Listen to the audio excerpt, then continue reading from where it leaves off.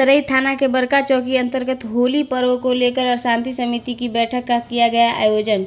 सिंगरौली ज़िले में सभी थाना व सभी चौकी में सिंगरौली पुलिस अधीक्षक श्रीमान बीरेंद्र सिंह जी के निर्देश पर होली पर्व को लेकर क्षेत्रीय जनप्रतिनिधियों और समाज सेवियों को बुलाकर बैठक करने व क्षेत्र में हो रहे सभी गतिविधियों पर सुझाव के लिए आयोजन के लिए निर्देशित किया गया है। इसी क्रम में आज पुलिस चौकी बरका परिसर में आज दिनांक 14 मार्च सोमवार को चौकी प्रभारी बरका श्रीमान सरनाम जी द्वारा होली एवं सब ए बारात त्यौहार को लेकर शांति समिति की बैठक ली गई है। वहीं पिछले साल होली पर हुई गतिविधियों के बारे में चर्चा किया गया। सभी को बताया गया कि हम सबकी ज़िम्मेदारी है होली पर्व पर किसी भी प्रकार की कोई भी अप्रिय घटना होने से हम सभी को अपने क्षेत्र में लोगों को सचेत करना है। जिसमें चौकी क्षेत्र के जनप्रतिनिधि समाज सेवी गणमान्य नागरिक समेत मीडिया के क्षेत्रीय पत्रकार बंधु शामिल रहे।